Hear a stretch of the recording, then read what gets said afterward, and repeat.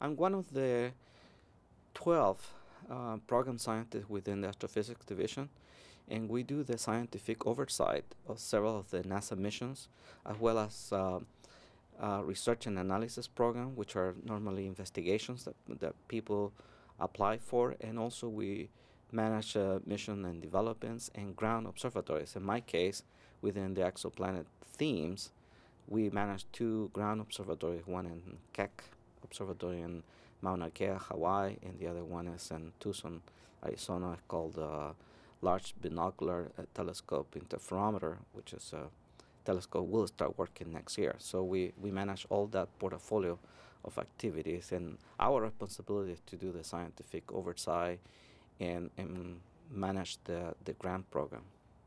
Exoplanets are, are the planets that have been discovered outside our solar system.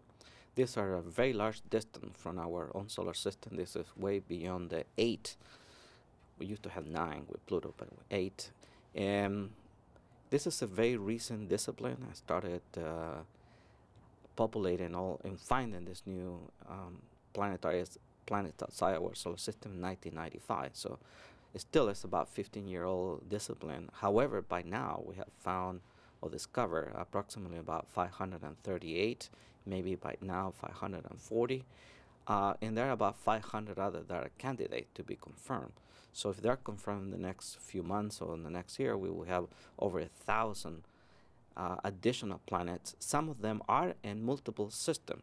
So out of the thousand, we we may uh, we're talking about probably 300 or 200 different solar systems outside our own.